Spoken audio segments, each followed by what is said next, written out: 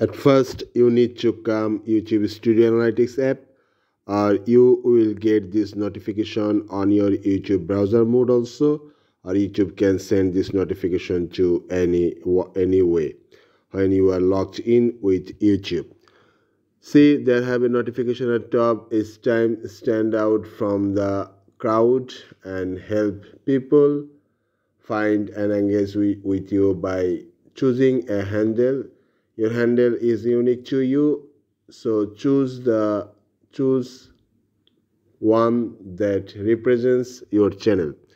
You can choose a new handle for your youtube channel or you can get the automatic assigned of your previous uh, previous username like masudbcl Pigeon Loft is my previous previous username and I will change it now to a new one. So let's select choose new.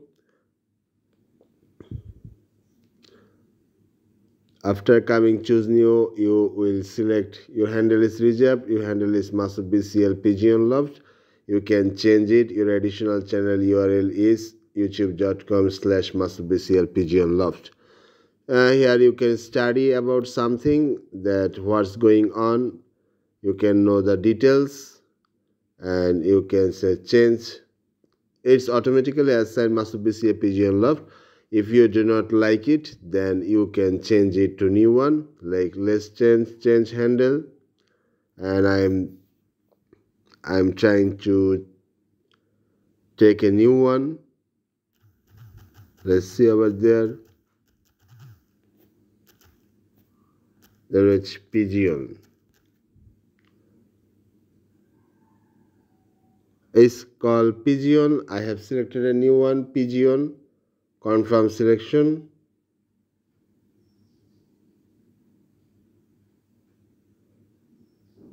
Let's see the new one pigeons. Is called taken. Let's select pigeon loft pigeon loft it's also taken. Uh, pigeons loft let's select pigeons loft or select white pigeon.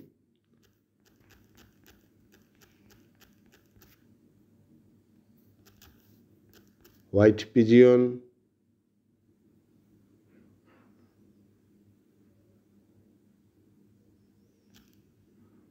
Let's select white pigeons I now got a new one that is called white pigeons. The previous ones has been selected because I made some late. If I could be faster, then I could get those also. Now I have three URL that is called youtube.com slash at the rate white pigeons, youtube.com slash masudbcl pigeon loft, youtube.com slash c slash masudbcl pigeon loft now click ok and it's showing the uh, new changed url hi your handle is Rejab, your handle is white pigeons. And your additional channel url is youtube.com slash at the rate white pigeons